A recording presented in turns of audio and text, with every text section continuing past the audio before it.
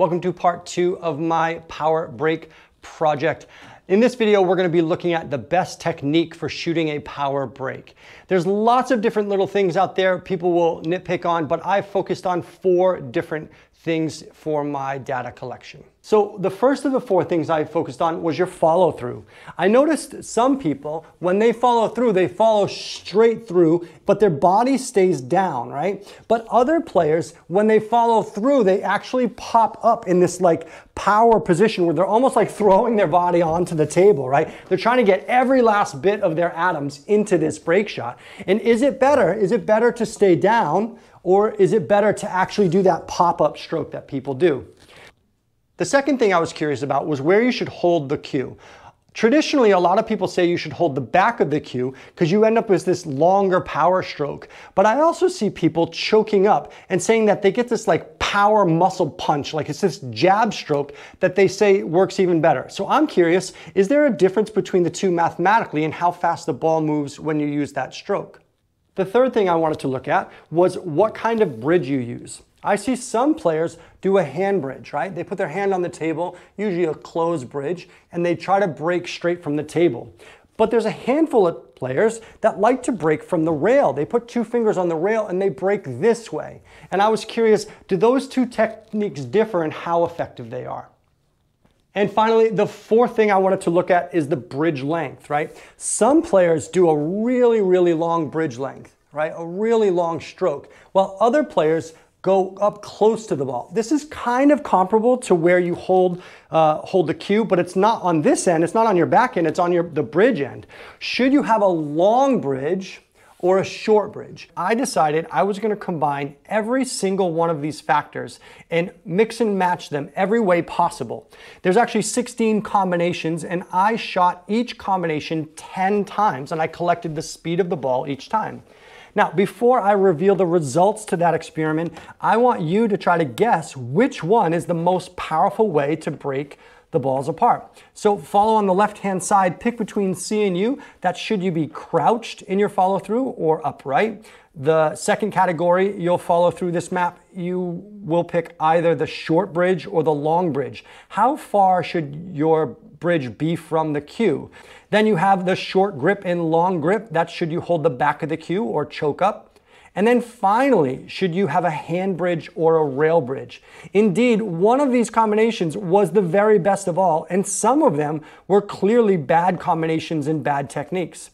So here are the results of my experiment. After taking 10 shots with each style, I threw out the bottom five speeds, throwing them out for user error. I wanna know what's the best case scenario for these different techniques, and I averaged the top five. So our big winner was a crouched Follow through the long bridge, the long grip, and a rail bridge. That was over 17 miles an hour in this comparison. Second place changed only one thing. It was with the upright follow through. That seemed to not have as big an effect, right? You were still over 17 miles an hour. And in third place, changing out was the long bridge versus the short bridge. The bridge length was not as big a factor as I thought it would be.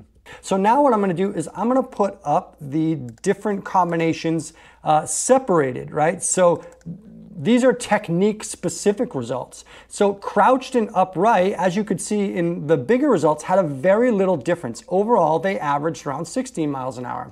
The short bridge to the long bridge had a, a difference of about half a mile an hour. The short grip and long grip was almost one whole mile an hour. But the biggest difference, and this was the shocker to me, was my hand bridge versus my rail bridge was a very, very different speed.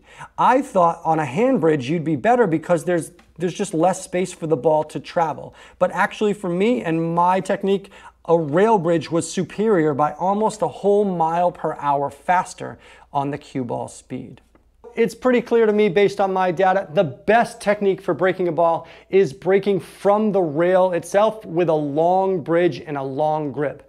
Whether you go upright or stay crouched, that sort of didn't make as much of a, a difference. Now, I am expecting the comments to fill up with some people saying, no, no, no, it's best to do it this way. Sure, keep doing whatever you're doing, but what I would really appreciate if you did some data on your own, prove me wrong with numbers. Because for me, this is the best way to break. Now, there's some other things we can talk about for technique, but I just want to do two more things to wrap up this video. From what I saw over and over, I can't emphasize enough that I could see when I hit the balls head on, I really split them apart. But when you miss hit and you hit the balls to the side, let's say you do even just a three quarter ball hit on the one, there's just so much less speed transferred to the pack you, are better off slowing down your stroke a little bit and making sure you hit this pack dead on. You have a second bonus on that is the best break shot ends up with the cue bouncing back into this circle zone in the middle of the table. The likelihood is you're gonna have the best chance at another shot.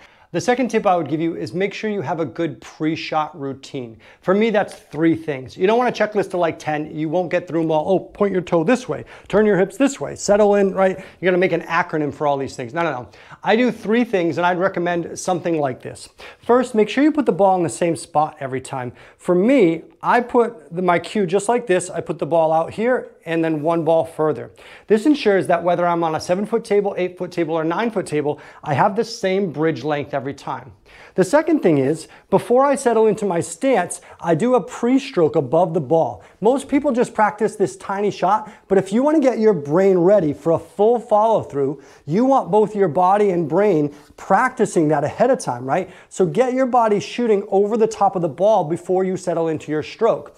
Then, when I settle into my stroke, I do one last check. I double check that my hand is all the way at the back of the cue. There's just something about my mental feel that I can, I almost always have to like scoot back just a little bit. But that's my last check is make sure I'm holding the back of the cue. And after I've done, I'll even do one or two more full strokes over here. And after I'm done, I'll let loose.